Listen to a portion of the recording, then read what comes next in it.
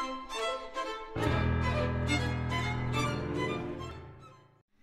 everyone welcome to my new vlog और आज है एकादशी। तो आज से हम अपने घर के बाहर दिया जलाएँगे। तो ये सब अब आज के ब्लॉग में हम कवर करेंगे और आज रेसिपी भी शेयर करूँगी। पालक पनीर की रेसिपी तो इसके लिए मैंने पालक खरीद लिया है और पनीर खरीदना बाकी है तो इसको मैं ख़रीदने के लिए अभी जा रही हूँ। तो मिलती हूँ फिर पनीर खरीद के आने के बाद। और देखते हैं आज के ब्लॉग में क्या क्या होता है तो बने रहिए मेरे ब्लॉग में। मैं पनीर तो लेके आ गई हूँ, लेकिन मैंने देखा कि पौधे कुछ ज़्यादा ही मुरझा गए हैं, पता नहीं किस वजह से। तो मैं इसकी मिट्टी ऊपर नीचे कर देती हूँ और पानी थोड़ा सा दे दूँगी तो शायद सही हो जाएगा। और अभी बारिश भी नहीं हो रही है और ज़्यादा ठंड भी पड़ रही है थोड़ी बहुत तो इसी वजह से शायद हो रहा होगा। और इसके बाद मैं यहाँ की सफ, सफ़ाई कर देती हूँ। दिन में जितनी भी सफ़ाई करो, सुबह सुबह, शाम तक होते हो, शाम होते होते पूरा एकदम फिर से मतलब करना ज़रूरी है, इतना गंदा हो जाता है। और यहाँ पे मैंने पोछा लगा रही हूँ मैं इसको खोल लेती लेकिन पानी जल्दी सूखेगा नहीं, इसी वजह से मैं पोछा ही लगा दी, ताकि जल्दी से सूख जाए। और इसके बाद मैं जल्दी जल्दी शाम भी हो जाती है, ठंड हो गई है तो ठंड का टाइम है तो जल्दी शाम भी हो जाती है। और इसके बाद मैं थोड़ा सा रंगोली करूँगी। और देखिए मैं कुछ यहाँ पे नेल्स लगा रही हूँ, ताकि मैं यहाँ पे तोरण लगा पाऊँ। मैंने यहाँ पे जो तोरण लगाऊँगी वो मीशो से मंगाया है।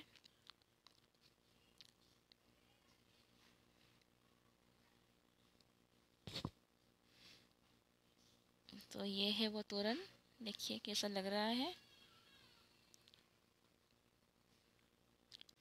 यहाँ पे लगाने से मुझे लगा है थोड़ा सा मतलब बड़ा हो गया है, इसको बीच में से और एक नेल्स लगाना पड़ेगा। ये देखो मैंने इस तरह से लगाया है। अच्छा लग रहा है कि नहीं, थोड़ा सा कमेंट करके बताइए। इसके बाद मैं थोड़ा सा रंगोली करके दिया लगाऊँगी। और ये देखो मिस्टी हमारे घर आई है और खेल रही है। हमारे यहाँ कृष्णा की और मिस्टी की दोस्ती बड़ी अच्छी हो गई है। और कोई खेले ना खेले, मिस्टी और कृष्णा, वो दोनों अच्छे से खेलते हैं।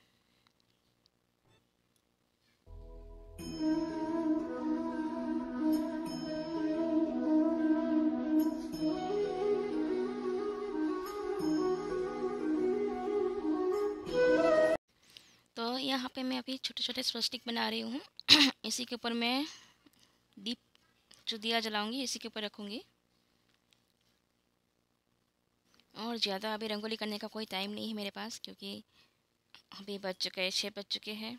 और उसके बाद मुझे खाना भी बनाना है, घर भी सजाना है तो थोड़ा बहुत काम बाकी है। तो इसी वजह से सिर्फ़ अभी स्वस्तिक और कुछ नहीं। तो गाइस आपको एक रिक्वेस्ट है। आप लोग जब मतलब व्यूज़ तो बहुत बढ़ जाते हैं, लेकिन कोई लाइक नहीं करता सब्सक्राइब नहीं करता तो प्लीज़ सब्सक्राइब कर दीजिए लाइक कर दीजिए। उसमें आपका एक रुपया भी खर्च नहीं होने वाला है। तो प्लीज़ कर दीजिए ताकि मेरे चैनल की ग्रो ग्रोथ थोड़ी बढ़ पाए। और, देखिए, मैं अभी स्वस्तिक कैसे बना रही हूँ।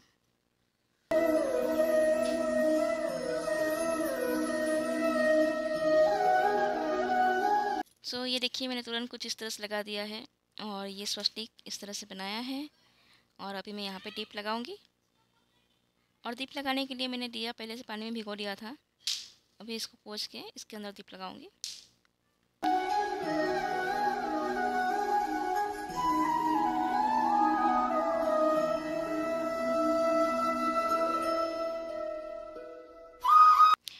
चलिए मैं अभी थोड़ा सा ड्राइंग रूम सजाती हूँ तो मैंने कुछ दीवान सेट मंगाए थे, ये खट के ऊपर लगाने के लिए।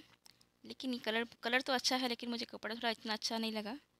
देखती हूँ लगाने के बाद कैसा लगता है। तो देखिए फाइनल लुक नीचे में कारपेट है ऊपर में बेडशीट ये देखिए। तो अच्छा तो दिख रहा है। और इतना मैंने किया, उसके बाद मेरे हस्बैंड एक बल्ब भी लगे यहाँ पे ऐसे लगा दिए तो और भी अच्छा दिख रहा है। और लाइटनिंग लगाए, करेंगे कल। तो आज के लिए बस इतना ही। और कलर तो अच्छा लग रहा है, लेकिन थोड़ा मुझे कपड़ा अच्छा नहीं लगा, और कारपेट भी बहुत अच्छा लग रहा है मुझे। तो आपको कैसा लगा, आप बताइए। तो यहाँ पालक पनीर बनाने के लिए मैंने एक पतीले में पानी गर्म किया था, और इसमें पालक काट के, धो के, उस गर्म पानी में मैंने इस पालक को और सिर्फ़ पाँच मिनट बॉईल करने के लिए डाला हुआ है, ताकि ये अच्छे से बॉईल हो जाए। तो पालक बॉईल हो गई है। अभी मैं इसका पानी निकाल के इसको ठंडा करके थोड़ा बॉईल कर लूँगी ग्राइंडिंग कर लूँगी। यहाँ मैंने पालक बॉईल कर दी ग्राइंडिंग कर दी है। और ये देखो मसाला, बिना प्याज लहसुन का है। मगज का जो सीड्स होता है, तरबूज का मंजी और अदरक, टमाटर मिर्च और थोड़ा सा जीरा। और ग्राइंडिंग कर दिया है। ये देखो, पालक को मैंने जैसे बॉईल कर लिया था पाँच मिनट के लिए तो इसका कलर वैसा का वैसा ही है। बिल्कुल चेंज नहीं हुआ है, कितना ग्रीन है। और इसके बाद मैंने यहाँ पे जो पनीर है, उसको भी थोड़ा सा फ्राई कर लिया है, हल्का फुल्का। इसमें से आधे कृष्णा और मेरे हस्बैंड खा भी गए हैं। तो चलिए, अभी बनाते हैं।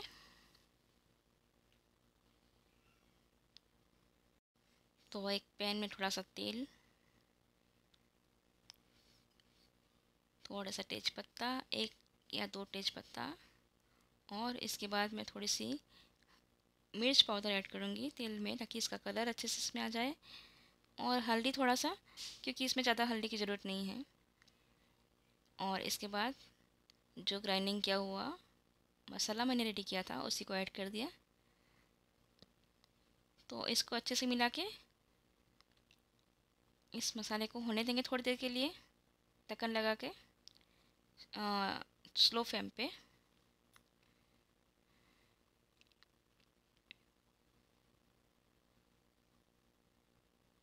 इसमें थोड़ा सा जीरा पाउडर और थोड़ा सा सब्ज़ी मसाला, जिसमें प्याज लहसुन नहीं है, इसको मैंने ऐड किया है। अब तो अभी थोड़ी देर के लिए उसको स्लो फ्लेम फ्लेम पे होने देंगे, ताकि मसाला अच्छे से हो जाए। तो देखिए, ये मसाला हो रहा है अभी भी। इसमें थोड़ा सा नमक नहीं डाला था तो मैं थोड़ा नमक ऐड कर देती हूँ। टेस्ट के अनुसार नमक।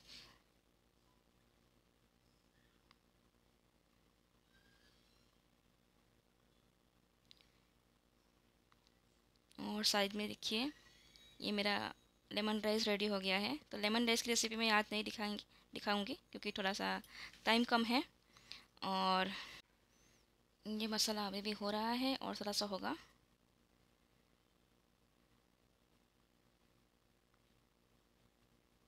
सो so गाइस अभी ये हो गया है। देखो, तेल भी अलग हो गया है।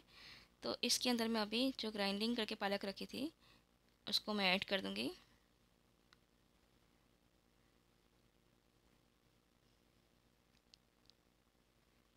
अभी इसे अच्छे से मिला देंगे। और इसके बाद पनीर भी ऐड कर दूँगी।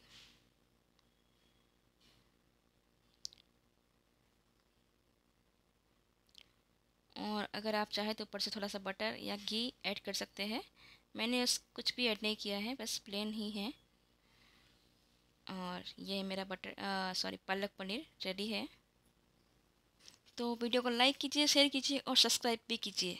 और मिलती हूँ फिर एक नए ब्लॉग में। कल तब तक के लिए bye take care good night